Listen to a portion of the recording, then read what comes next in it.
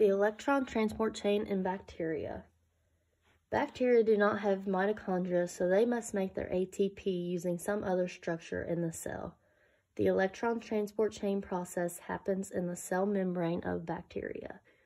Overall, hydrogen ions are pumped out of the cell as they donate their electrons to the various electron carriers in the chain. They are then pumped back in at the very end, which is the specific part of the chain that produces ATP for the bacterial cell to use. So first the process starts out, electrons are initially donated from NADH2.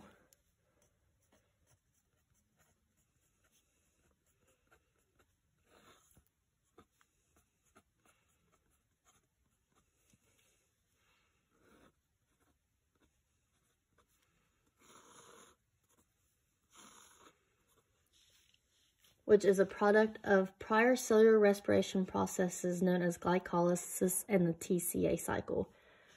The electrons are then carried and transferred via a series of redox reactions to different electron carriers located in the plasma membrane.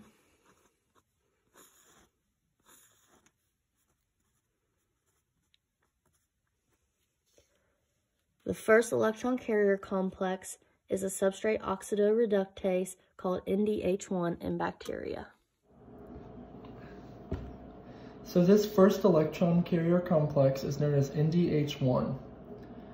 This NDH1 has FMN or flavin mononucleotide within it. The NADH2 donates two electrons to FMN and therefore reduces it. It requires two hydrogen protons to bind to the FMN in order to balance out its charge, making it into FMNH2. Also inside the NDH1 are iron sulfur centers known as Fe4S4. FMNH2 donates an electron one at a time to the Fe4S4. The Fe4S4 then passes that electron onto another iron sulfur center one at a time as well. The first electron carrier ends up moving a total of four hydrogen ions across the membrane out of the cell. The second electron carrier is known as the quinone pool. The two electrons that went through the NDH1 are then picked up by a quinone molecule. This reduces the quinone molecule so then it is transformed into quinol, or QH2. These quinols diffuse into the membrane and carry the reduction energy from the electrons to other transport carriers. All right, so the third step in the electron transport chain in bacteria is known as a terminal oxidase, otherwise known as cytochrome BO, cytochrome BO quinol oxidase. What this does is it takes a quinol molecule from the quinone pool in step two and donates two electrons to heme B. This process moves two hydrogens across the membrane. The heme B then donates those two electrons to heme O3.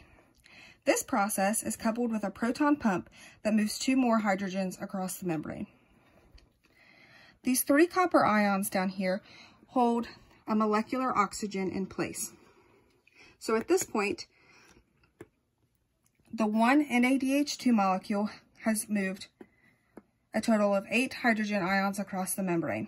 So in order for this molecular oxygen to be fully reduced, we must use another NADH2 molecule to go through these processes, resulting in a total of 16 hydrogen ions moved across the membrane. Once that's done, four hydrogen ions from the cytoplasm come to bind to this molecular oxygen, resulting in two water molecules, which indicates the oxygen is the final electron acceptor in this process. So now over here, we have ATP synthesis, which is done by F1F0 ATPase in bacteria. This process is fueled by the proton motive force. So for this demonstration, I have gone ahead and drawn the 16 hydrogen ions um, from before.